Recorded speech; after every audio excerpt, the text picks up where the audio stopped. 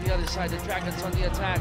Nice pass to the baseline and a good finish for Loh Shee After a miss, you cannot dwell on your offense.